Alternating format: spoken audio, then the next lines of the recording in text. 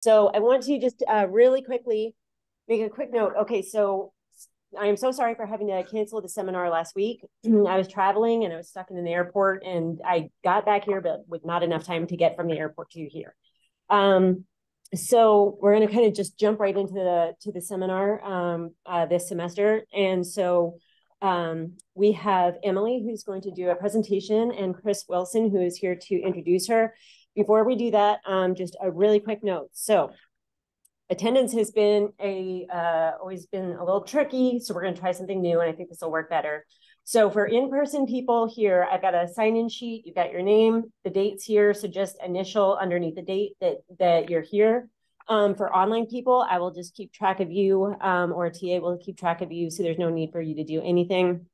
Um, and I know I sent out two emails about the attendance requirements.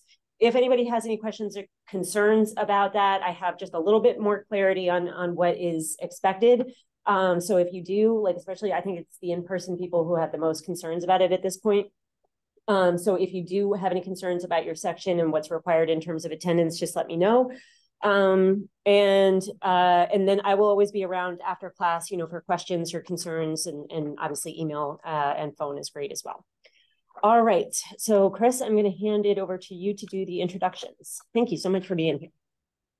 All right, excellent. Well, thanks for uh, hosting uh, Dr. Emily Pappo. Um, so, I'm Chris Wilson. I'm a faculty member in the agronomy department, also an SNRE grad.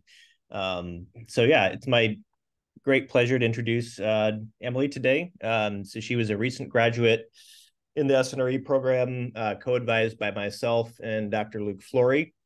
Uh, before that, she did her MS degree in the agronomy department with with Luke's group, um, and both the her master's and PhD were really focused around coffee, coffee agroecology, and I think really exemplify kind of the interdisciplinary ecology, you know, founding spirit in the SNRE curriculum. So she's looked at field production practices, done field manipulative experiments to kind of see how drought impacts coffee production.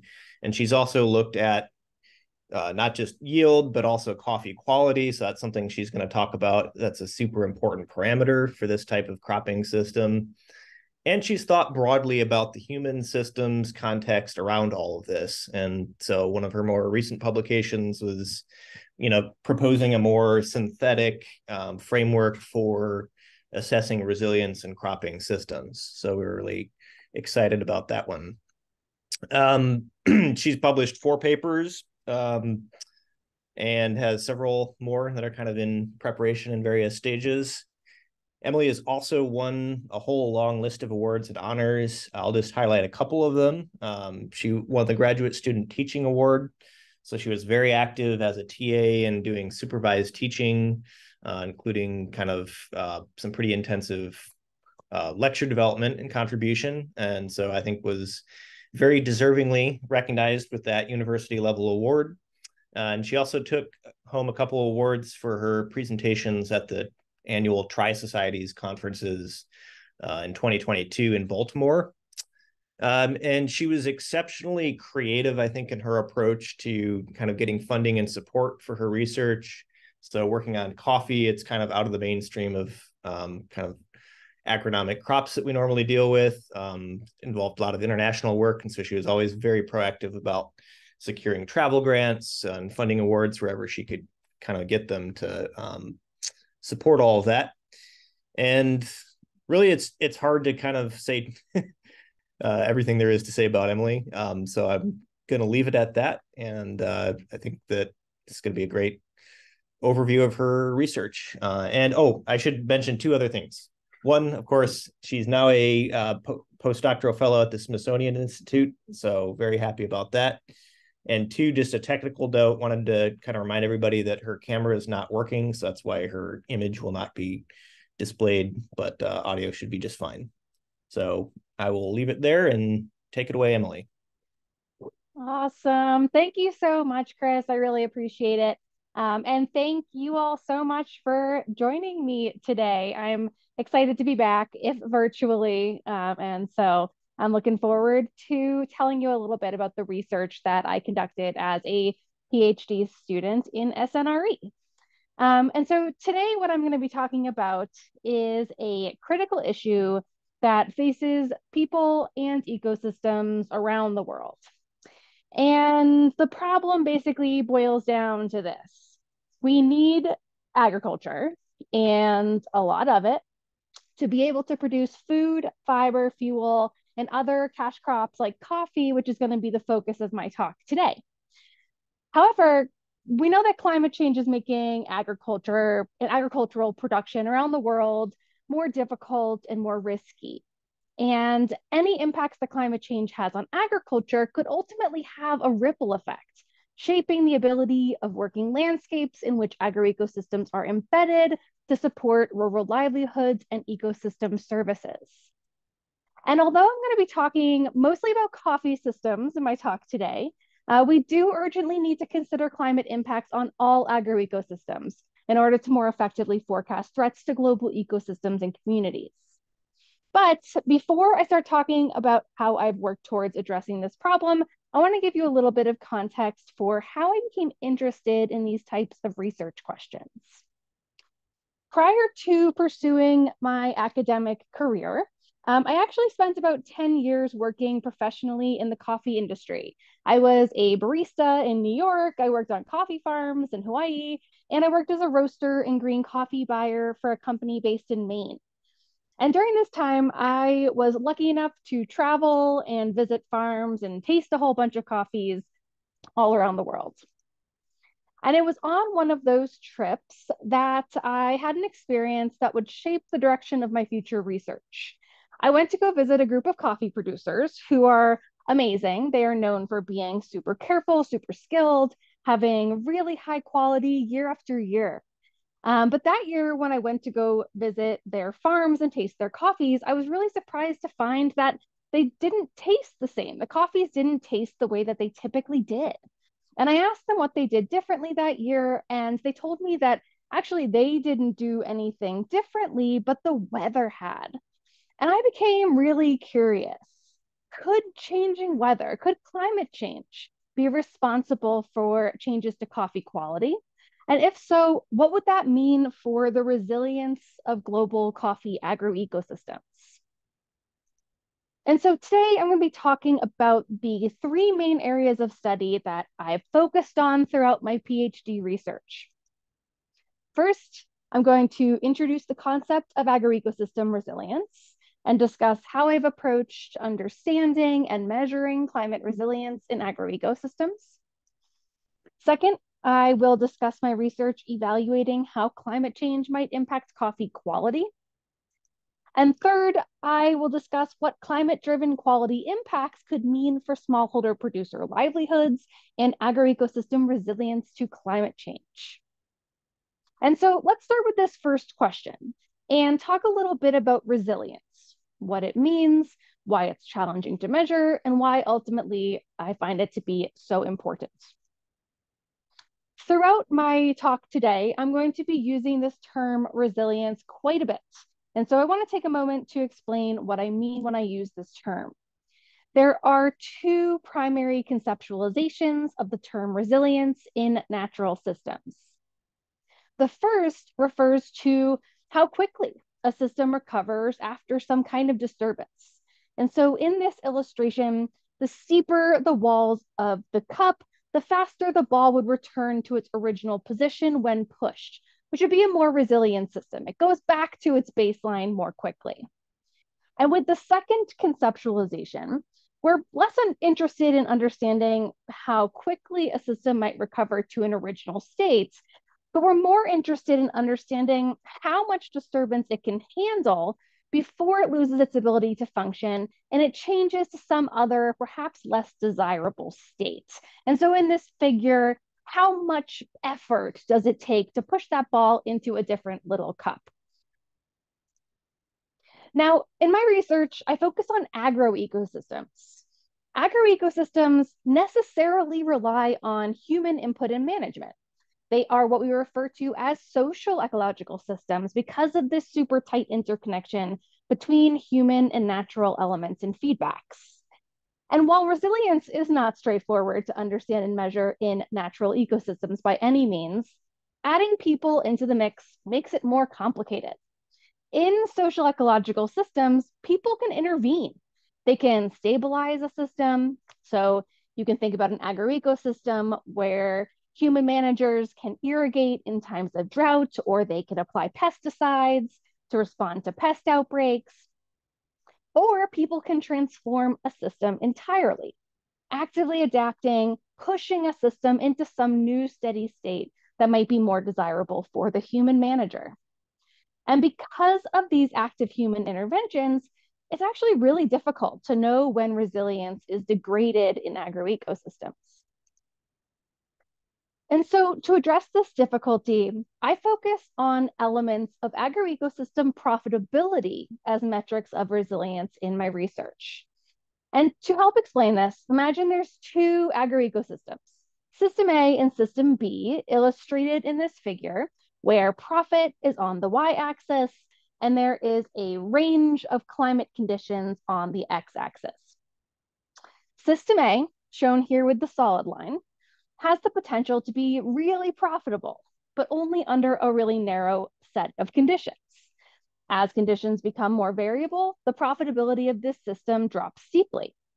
And system B, on the other hand, shown here with the dashed line, it might not be able to be as profitable as system A under optimal conditions, but it can maintain higher profitability under a broader range of conditions. And if we think a little bit about what that means, it means that even if climate conditions change, System B will be more able to maintain resources to be able to respond to severe disturbances.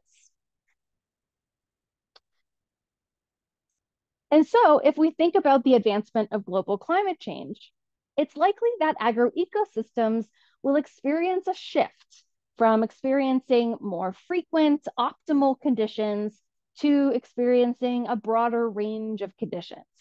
So a system like system B that can maintain profitability across a broader range of conditions would be more resilient and so it's really important to know how climatic shifts might influence elements of economic value and profitability in agroecosystems. And so that leads us into my next research question. Because understanding agroecosystem profitability is important for evaluating resilience, in coffee agroecosystems, that means knowing not only how climate change will impact yields, but also how it will impact coffee quality, which is a critical element of economic value in coffee systems. But first, we'll take a step back so I can introduce the coffee system. In my work, I focus on coffee for a number of reasons. Coffee evolved as an understory shrub in the highland forests of Ethiopia. These shrubs produce little fruits that contain within them seeds that can be processed, dried, roasted, and brewed into all the coffee drinks that we know, love, and probably rely on. Now, because that plant evolved in the understory, it can be grown effectively with shade trees, providing better habitat for biodiversity than many other agricultural systems. And this is especially valuable since coffee is often grown at or near biodiversity hotspots in the tropics and subtropics, making it incredibly ecologically impactful. It's also an incredibly socially impactful crop. Hundreds of millions of people around the world depend on coffee production for their livelihoods, including on an estimated 12.5 million farms that are majority smallholder operations that can be found on four continents in over 60 countries. However, the ecological and social importance of the coffee production system is complicated by the sensitivity of the coffee plant. Coffee has a relatively narrow set of environmental requirements for its production, making it highly vulnerable to climate change. In fact, one recent modeling study found that the total global land area that is suitable for coffee production could decrease by up to 50% by 2050. However, often when we talk about climate impacts on agricultural systems, what we talk about is only yields or how much coffee these coffee trees will produce. But with coffee, it's not enough to only understand impacts on yields. Think back to my earlier story. It wasn't the loss of yield that I found surprising, it was the loss of quality. And so coffee quality can be assessed and understood both qualitatively and quantitatively. Qualitative assessment of coffee quality is descriptive. It's using standardized descriptive language for talking about coffee quality. It's the kinds of words you might use to describe what you want to drink at a coffee shop. Uh, think maybe you want something that's chocolatey or nutty or fruity or full bodied. Those are qualitative assessment words for coffee. And these descriptions are really helpful for communicating about a coffee's properties. But I might really like coffees that are fruity, and you might really like coffees that are chocolatey. And we can't really say that one is measurably a better using only qualitative assessment. Quantitative assessment of coffee quality, on the other hand, is numerical or measurable. The most common form of quantitative analysis is the use of the cupping form, like the one shown here, which trained evaluators can use to score coffee samples based on specific attributes like aroma, flavor, acidity, body, and balance to score that coffee on an 100 point scale where coffees that score at least an 80 can receive quality based pricing premiums. And that brings us to why coffee quality is so important to this discussion. Without going too deep into economics, coffee is a commodity its price is set by the futures market. And while price fluctuates quite frequently, often in recent years it's hovered around only a dollar per pound. And the question then is whether that price is enough to provide a living wage or even cover costs of production for farmers. And if we look at data compiled from farms across six Central and South American countries, we see that the total costs of production averaged more than a dollar per pound across these countries. And so if farmers uh, are receiving commodity pricing, they could have a really difficult time covering costs of production and making a sustainable income. And there are multiple ways to work around commodity pricing or escape this commodity pricing. But arguably, the path with some of the highest potential payouts would be through quality based pricing premiums. And in this figure, we see how different types of coffees have been priced based on their quality. We're looking at lighter color bars here being lower quality coffees and darker bars being higher quality coffees. And across the board, coffee price goes up with increasing quality. And so if climate change is going to impact both the quantity and the quality of coffee production, it could seriously compound challenges to economic sustainability. And alternatively, positive effects on quality could mitigate loss of income from declining yields. And so it's really important to understand how quality and quantity of coffee production could be impacted by climate change. And so, what influences coffee quality?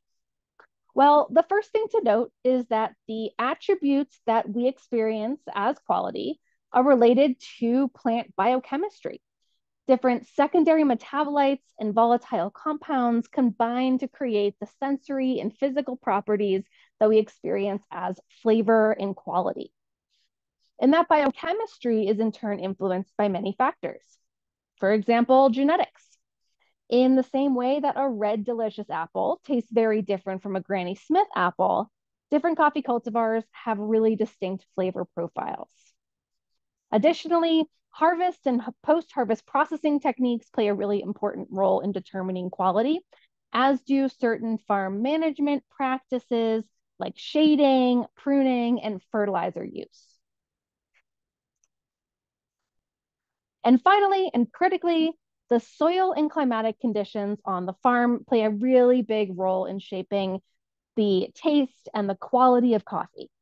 Coffee, like wine, has terroir, it picks up the unique flavors of its specific geographic origin.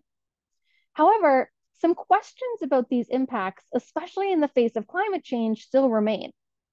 First, Most research evaluating climate impacts on quality have focused on linking warming temperatures with quality declines. So questions still remain about the effects of changing water availability on coffee quality. Coffee is very sensitive to the timing and the quantity of rainfall, um, and more frequent and severe droughts are very likely in many coffee growing regions. Second, quality is, in essence, an emergent property. It arises out of the interaction of these many factors. And so it's really important to consider how different factors like management practices and climate might interact to shape quality. And so now that we have a sense of coffee and the contributors to coffee quality, we can get into this second research question in a bit more detail. And so to answer this question, I conducted a field experiment in Costa Rica. This experiment was conducted on a lovely coffee farm called Finca Vino Tinto, right outside of the town of Santa Maria de Dota. The goal of the experiment was to test whether reduced water availability impacted coffee quality and whether that effect varied among cultivars. I planted coffee seedlings of four cultivars under either control shelters or rainout shelters that reduced soil moisture by an average of 14%. The cultivars in the study were collaboratively selected with local stakeholders to help uh, better understand how the more traditional cultivars planted in the area would hold up against newer hybrid cultivars that were uh, in the process of being introduced. And ultimately, over several years, I harvested and processed the fruits from these trees and evaluated the impact of reduced water availability on both yield and quality. The yield data was published in a manuscript in the journal AOB Plants, and today I am going to be discussing the impacts on quality. And so I took a two-part approach to quality analysis for this project. First, I conducted a sensory analysis of roasted coffee samples through a collaboration with coffee tasters from Bold Bean Coffee in Jacksonville. I roasted coffee samples on an Ikawa Pro sample roaster, which is Bluetooth operated. It allows really good consistency among the different roasts. And then we used the industry standard cupping form that I introduced earlier to collect quantitative data on sensory attributes. Second, to supplement and perhaps explain any changes in sensory quality perceived by the evaluators.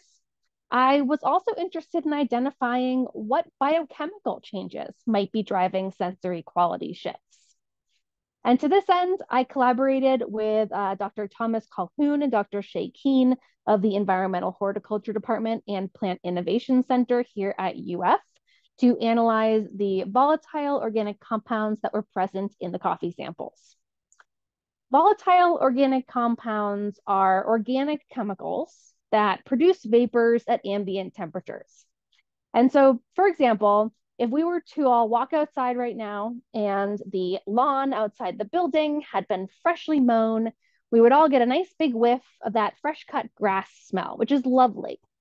But what we're really experiencing and sensing in that moment are volatile compounds, things like Z3 hexenol that have been released into the air by those cut leaves of grass. Coffee seeds contain many of these compounds. And by looking at how their concentrations change in response to changing rainfall, we can get a sense of what might be responsible for changes in flavor. And so we collected the volatiles from finely ground unroasted coffee seeds and used gas chromatography mass spectrometry or GCMS to identify and quantify the volatile compounds in each sample. The results of the sensory analysis suggested that coffee sensory quality responds mostly negatively to reduced rainfall. And so here we're looking at the results from one cultivar, H1, showing the treatment response by sensory attribute. The bar chart on the left shows the score of each sensory attribute under rainout conditions in pink and control in brown.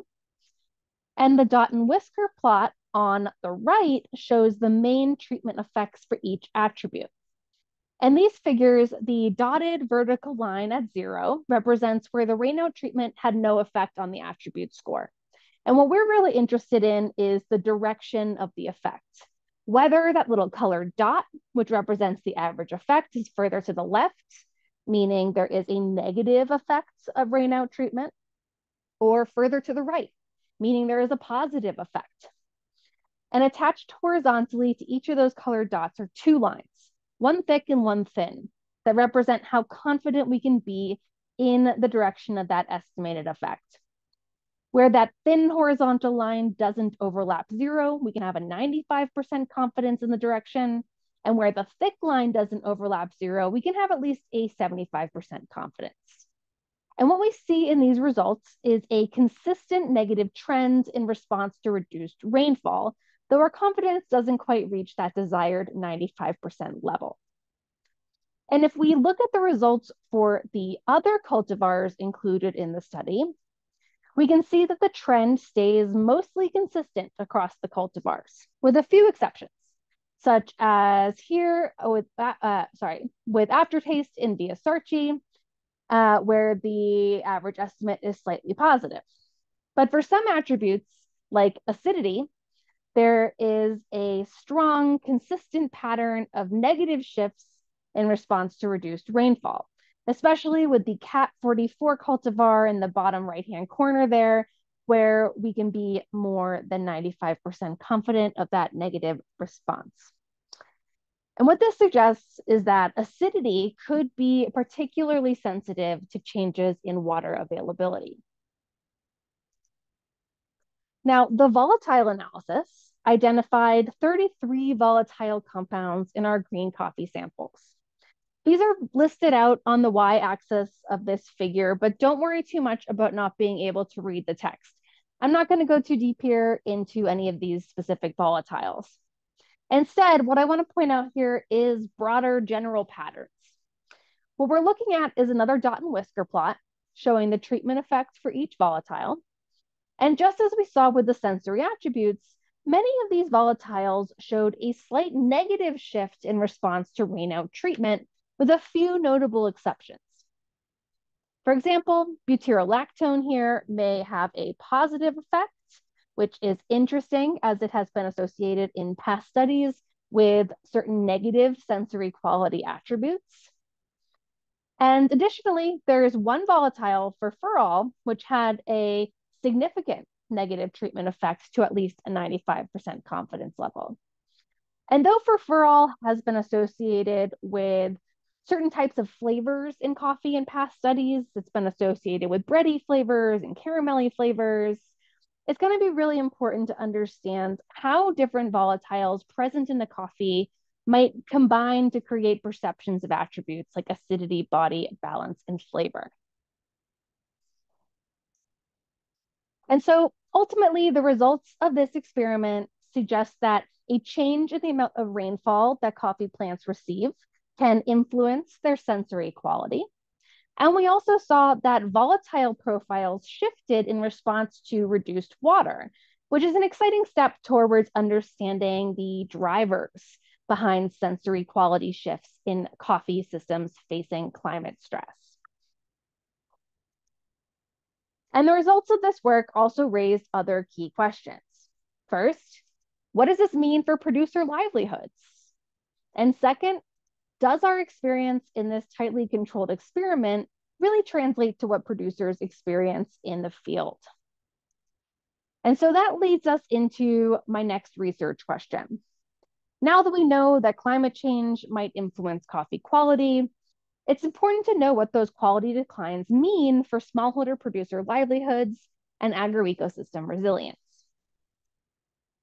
To address that question, I collaborated with some awesome coffee producers at Bella Vista Coffee in Antigua, Guatemala, to evaluate how local climatic shifts have influenced coffee quality and economic value over time. For this project, I analyzed seven years of coffee quality data from 17 coffee farms that were managed by the same agronomists, had their coffee processed at the same facility, and had their quality evaluated by the same panel of coffee tasters, which offered a really unique opportunity to control for key variables that influence quality. And it's important to note here that real price data was not collected for privacy reasons. Instead, all economic valuations are based off of aggregated estimates compiled by the Specialty Coffee Transaction Guide, which provides estimates of prices paid for coffees in Central America across quality score brackets. Climate data was extracted from TerraClimate, which is a high spatial resolution dataset producing monthly estimates of climate and climatic water balance, um, which also has some pretty robust forecasted climate data sets. And specifically, I was interested in climate variables with a connection to drought, including temperature, precipitation, vapor pressure deficit, or VPD, which is an indicator of atmospheric drought, and the Palmer Drought Severity Index, or PDSI. And finally, I used the farm and climate data to develop a set of hierarchical statistical models by testing the sensitivity of coffee quality to these TerraClimate drought metrics. And ultimately, I found that there were five annual TerraClimate variables all related to temperature, that had a significant association with coffee quality for the farms in our data set. And here we're going to first take a look at lowest temperatures labeled as T min. And what we're going to see in this figure is the quality score on the y-axis in relation to the minimum, mean, and maximum lowest temperature as displayed on the x-axis. The data we're about to look at is also going to be sorted by cultivar lineage, with different colored lines and uncertainty envelopes indicating different cultivar lineages. And so if we look at this data, we see that for two of these lineages, Bourbon typica and Introgressed, which make up the bulk of the lots in our data set, quality tends to decline as these minimum temperatures rise, which suggests that warmer conditions could lead to losses in economic value associated with losses in quality. This other cultivar group, Ethiopian landrace cultivars, which are shown here in red, responds quite differently than the other groups, maintaining higher quality across uh, environmental conditions. These cultivars are interesting. They are known for their distinctive and desirable flavor attributes, and the continually higher scores that they received in this study might be in part attributable to the inherent desirability of their flavor profiles. They're known to be delicious, and in part attributable to the fact that there were fewer of these lots in our data set because they're more challenging to produce. And the same patterns hold when we look at the highest temperatures experienced on each farm, or the Tmax as it's labeled here. And so the takeaway here is that an increase in temperatures is associated with a decline in quality for most of the lots in our study. And with this finding, it becomes really interesting to look at projections of how these associations might lead to climate shifts um, under forecasted climate scenarios. And so, using data from TerraClimate, we looked at two forecasted warming scenarios, a more likely 2 degrees Celsius and a higher end, more severe 4 degrees Celsius above pre-industrial levels. And what we're looking at here are density plots of each climate variable under these two forecasted 30-year climate scenarios, as compared to a baseline scenario of the conditions from 1985 to 2015. For each of these density plots, the y-axis shows the frequency of each climate condition on the x-axis. And so, for example, if we look at the maximum temperature and minimum temperature panels, as we would expect, we see shifts in temperatures of roughly two and four degrees Celsius for each scenario. And while the precipitation patterns there in the bottom right stay roughly the same, one interesting shift is seen in the projected VPD conditions under that higher end 4C scenario. VPD, or vapor pressure deficit, is a measure of the difference between the amount of moisture in the air and how much moisture the air can actually hold. And so when VPD is high, it means that the air is dry. It's a really good integrative indicator of the interaction of heat and water stress. And what's interesting and worrisome in these projections is that much more time in the severe climate scenario is spent above the estimated stress threshold of coffee of between 0.9 and 1 kilopascal. And so my next step here was to use our models to predict quality scores under forecasted scenarios. In this plot, we're seeing um, another density plot. The x-axis shows what we refer to as the quality anomaly, meaning the amount that the quality differed from the annual mean across all three scenarios. And the y-axis is showing the frequency with which a particular anomaly occurs in the data set.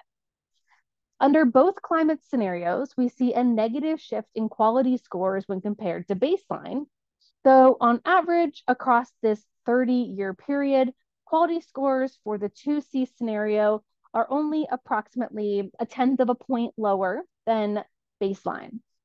However, we do see more severe quality impacts under the more severe climate change scenario, with a decline in average score from 85.2 down to 84.5 a drop which, while seemingly small, could actually have pretty meaningful economic impacts. When we use that aggregated data from across the specialty coffee industry to estimate price per pound for these coffees, we see that the economic impact of climate change, and particularly the more severe climate change scenario, could be quite significant. Under that 4C scenario, way more coffees would receive the lower end of prices and way fewer coffees would receive the higher end of prices. And overall, this equates to an average loss in value of roughly 30 cents per pound across this time frame. Now, 30 cents might seem like a small amount of money, but it adds up. And so I'm going to quickly give a super simplified example that demonstrates what this effect would mean in practice. Now imagine a five hectare farm that produces 20,000 pounds of coffee each year. Pretty common farm. That would translate to an average annual revenue of $50,000 each year under baseline conditions and just over $43,000 a year under the more high-end climate scenario. Now, although this is highly simplified, a loss of that size would translate to a roughly 14% decrease in annual revenue from quality losses alone. And for small farmers running on tight margins, this scale of loss could be a really big deal. And it could really reduce their capability to respond to disturbance, which, as we've discussed earlier, could play a role in degrading resilience. And so the results of this study helped to confirm some of our findings suggested by our field study in Costa Rica. That is, climate change is likely to negatively impact coffee's sensory quality and importantly, overall economic value. And moreover, this case study also highlights the importance of integrating other elements of harvest value apart from yields alone in research that evaluates the impact of climate change on crop systems. It also invites exciting next steps. First, it's important that we assess the implications of climate driven declines in economic value for working landscapes and the human and ecological communities that are in intertwined with coffee production systems. Now, after graduating from UF last spring, I was fortunate to begin a postdoc fellowship with the Smithsonian Conservation Biology Institute to work on addressing these types of research questions in South American coffee landscapes. And second, given the kinds of research that I work on, I'm really interested and passionate about understanding climate change effects and sharing that knowledge with others, particularly in the communities that might feel those effects most acutely. And so I do believe that it's critical to broaden research impact through education, particularly climate change education in agricultural communities. And so, for example, in 2020, I conducted an outreach project to connect students with climate change education through a unit on agriculture. And from that outreach initiative, I developed and published a framework for enhancing climate change education. Particularly in rural agricultural communities in the US, where climate change remains a polarizing issue and residents may be less likely to prioritize climate action.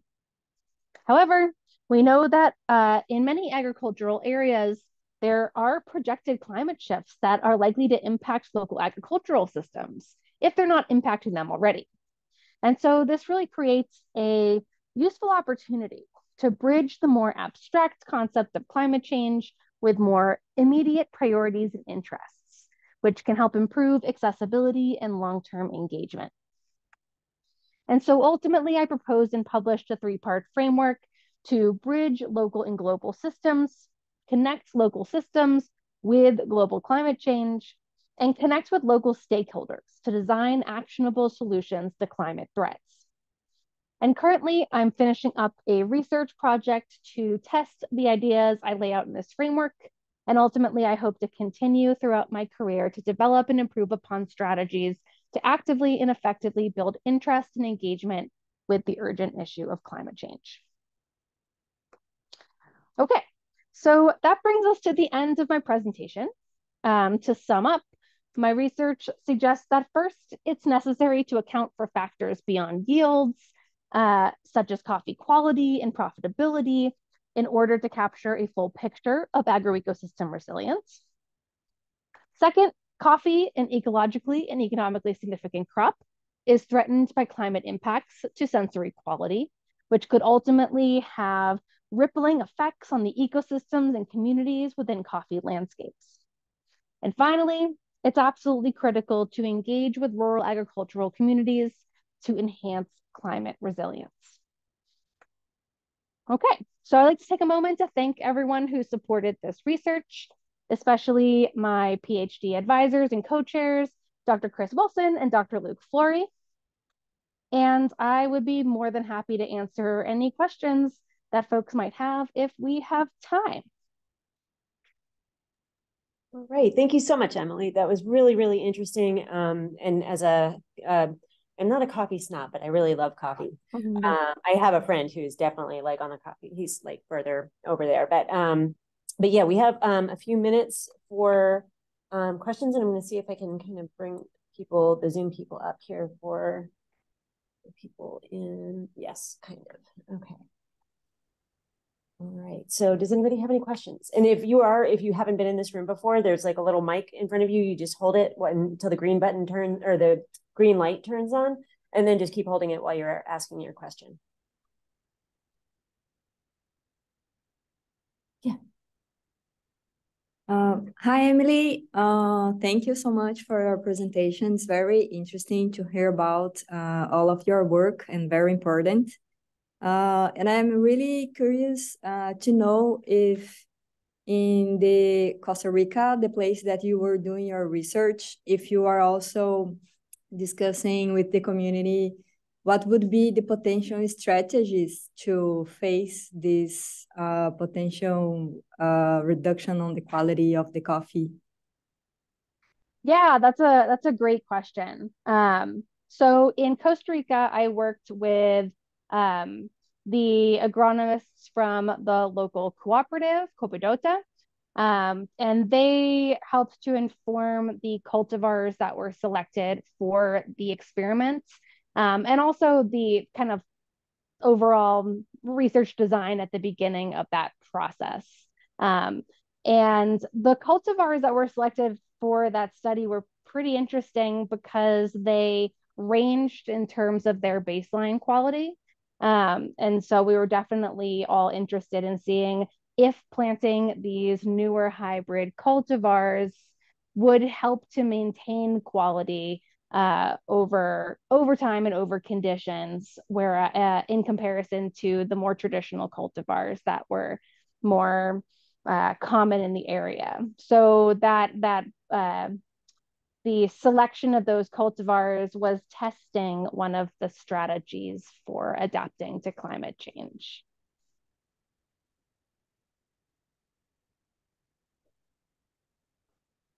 Any other questions in person or on Zoom?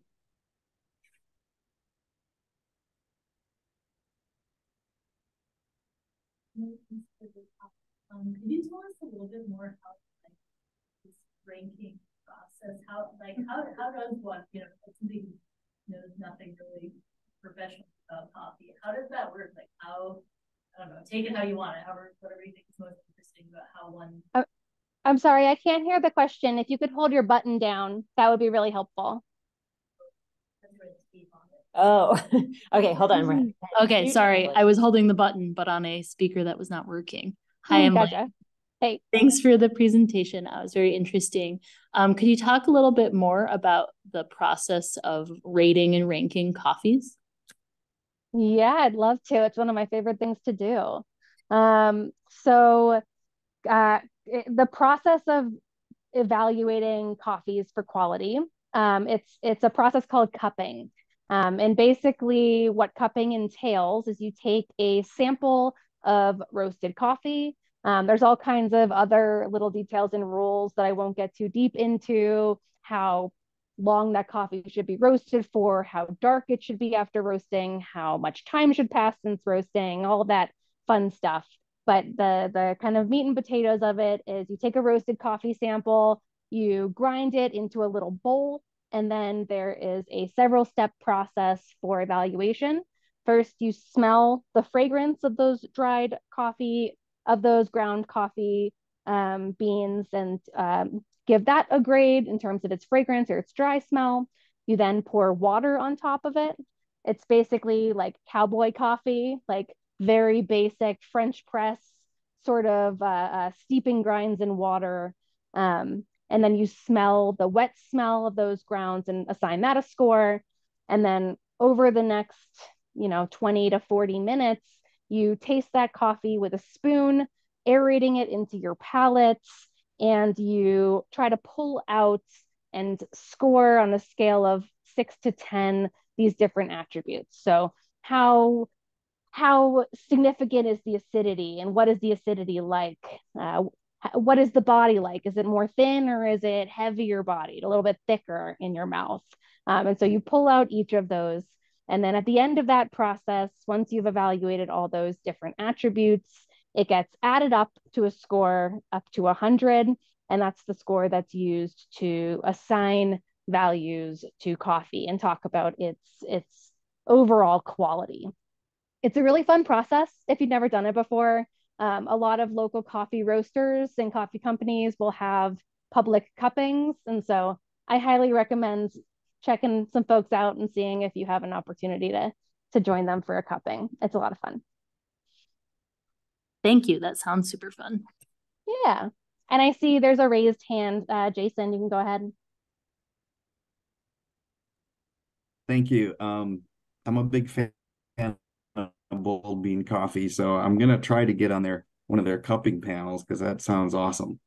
Yeah. Um, I just had a question about the slide you showed about uh, comparing some of the results you got for the Tmax and Tmins for the three cultivars, and if you could describe a little bit more about um, what you got for p values and r values there. If you had an r square value, I mean, um, it, it seemed like there was a, a good bit of noise on that um, particularly for the uh, the top. Yeah, that's right. That one. Yeah, so there there is quite a bit of noise. There's a lot of variability. These were the ones that emerged as um, the the best correlations amongst all of the different climate variables that we looked at.